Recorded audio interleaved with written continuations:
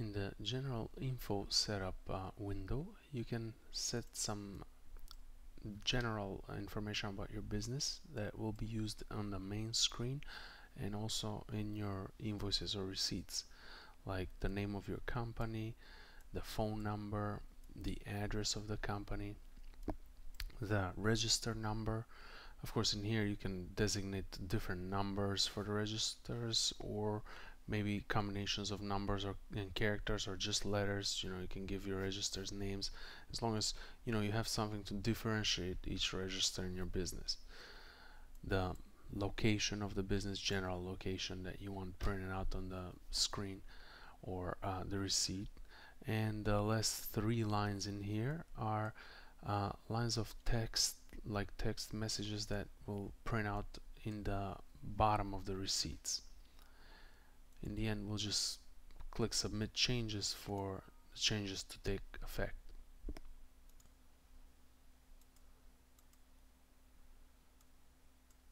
In the invoice receipt setup uh, we can set up the font uh, that will be used to print out the receipts like the font name.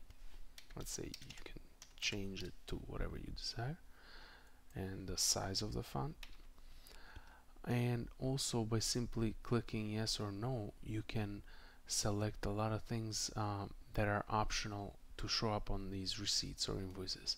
Like to have a logo printed to have the invoice number printed as a barcode on it uh, to have the customer's name printed on the invoice or the receipt to have the customer's address printed customer's phone number.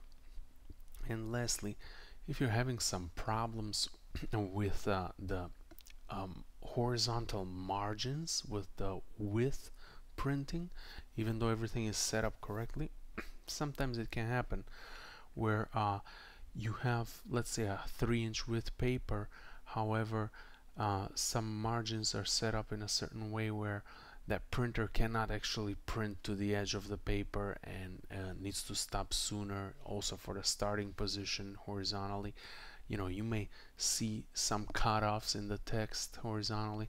This uh, handle in here allows you to choose uh, to decrease the horizontal printing length and uh, allows the then the whole system to treat it as less of a length and figure out how to calibrate that properly. In the end of course you hit uh, submit changes for the changes to take effect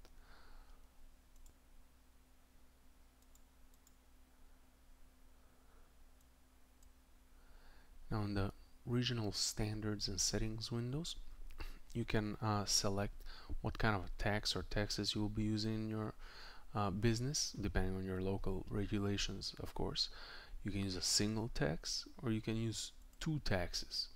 Uh, and of course you can name these taxes as you wish. Um, let's say this will be some state tax and this can be some federal tax that will be the setting for using two taxes. We'll just switch it back to a single tax for now in here. We'll just simply call it tax. Uh, then the method of the tax insertion into the prices. You know in the USA the US method is that the taxes are added at the end to the total uh, of the sale. And uh, then you have other countries like Europe, Australia, Asia they do the VAT, GST, PST type of uh, taxes where the taxes are pre-inserted into the prices uh, before the sale. That makes a big difference of when you actually add the, the percentage of tax after totaling everything or before. We'll just keep the USA way for now in here. And then you can uh, select the currency, select the currency of uh, your local um, system we tend to try and have all of the currencies in here. However if we miss some if your country's uh, currency is not in here um, you can simply you can simply create it yourself by uh, by clicking this option here that says add a currency. And it will simply just ask you what the currency is called and what is the sign for it. So you'll be effectively creating uh, a currency that we missed to add in that list.